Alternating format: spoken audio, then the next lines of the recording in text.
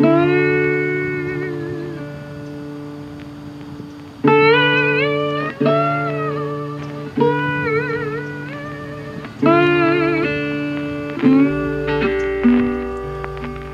north from the San Francisco Bay Area on Highway 101 past some grassy hillscapes, and within an hour you'll reach Petaluma, the butter and egg capital of Northern California, which is still celebrated every year with a spectacular country parade.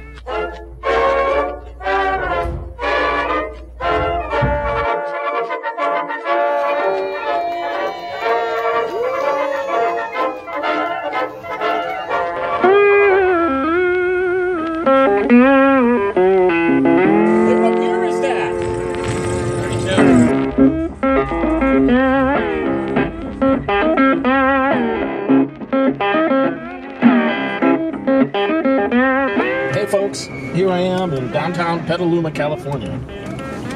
This is a town that used to be a big hub. Railroad used to come through here. Uh, the central post office used to come through here.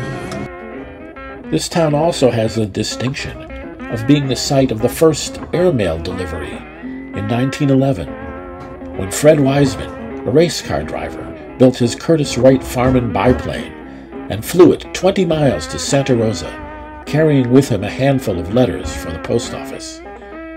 The actual airplane is on display at the National Air and Space Museum. Wiseman built it from photographs that he had seen of the Wright brothers plane. Someone had created a model of his plane, and we had it here at the museum.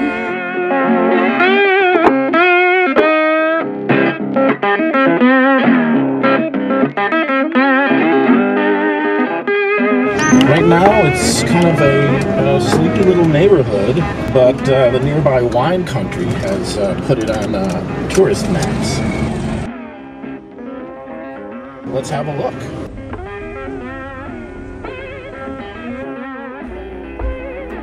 I like coming here to shop for things that the mass market malls ignore.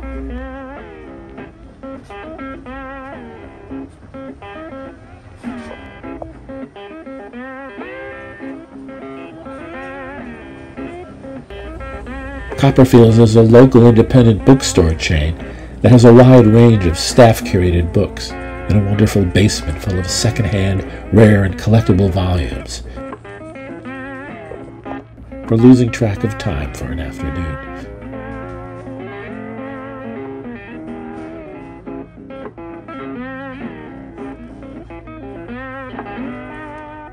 Heebie is a quirky and eclectic gift shop if you want to surprise someone with something they never knew they wanted. And of course, antiques.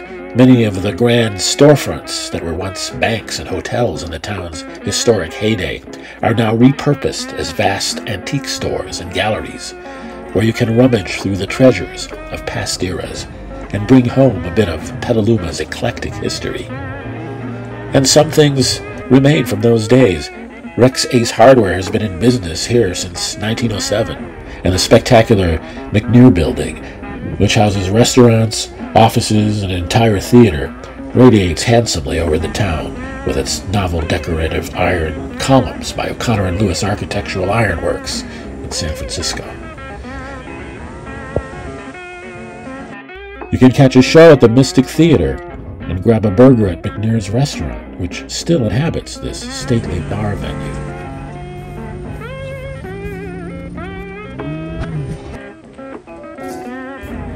Across Kentucky Street is the Public Library Museum, which houses a collection of local artifacts through which you can enter a time warp to the Petaluma of earlier times.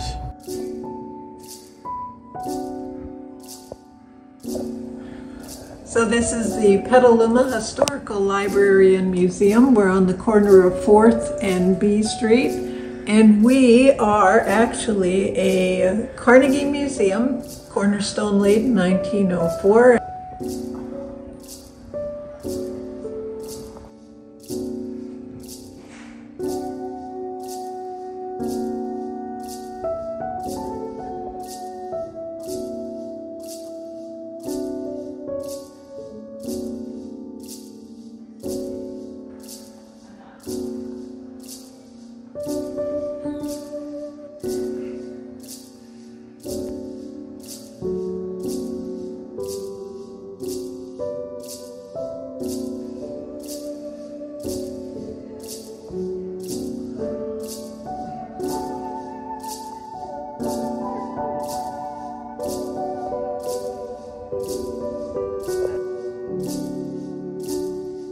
And it's a fascinating old town because it's one of these places where the history of it uh, still exists. It hasn't been overbuilt. So right now I'm going through this wall, which is the remnant of whatever construction was there before. When you live in a, an urban area, it's nice to get out to these areas. People here might not like me saying this, but it's the, the fact that it is kind of a backwater, never really going to achieve its former glory, is kind of what preserves it. So I like coming to these kind of areas because you know you get a sense of layers of history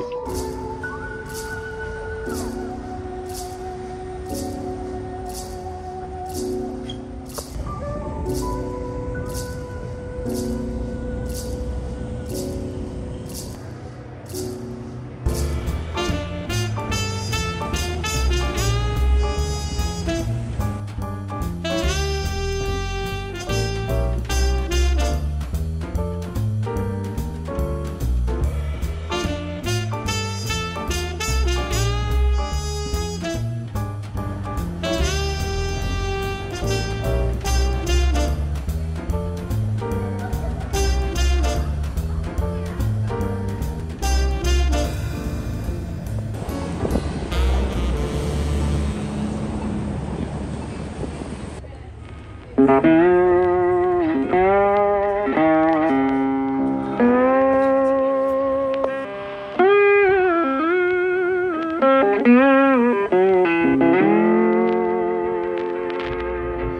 then there's the riverfront. The Petaluma River was a major route of transportation in the early 20th century.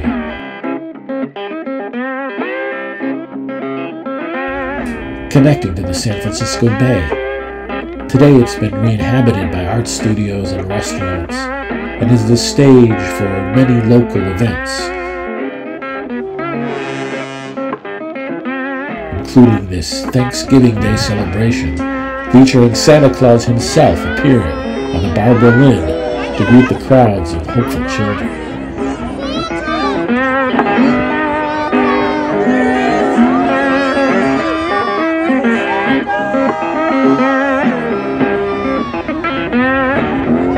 Lots of restaurants of every kind Asian, Italian, cafes, and diners with a small town vibe that makes everything taste a little better.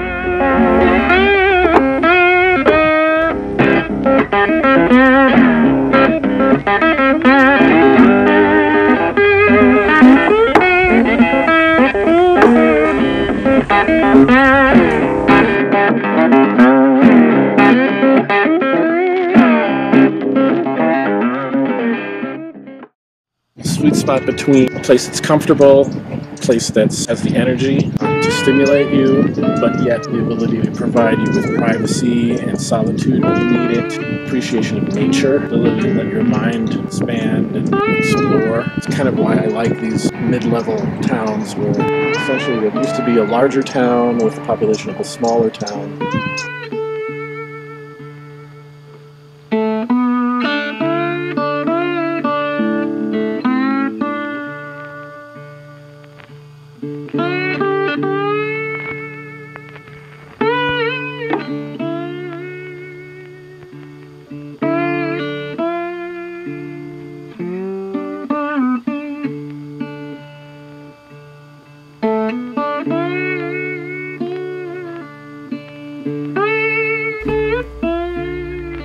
Don't forget to like and subscribe, and we'll let you know where we're going next on Peter's Grand Tour.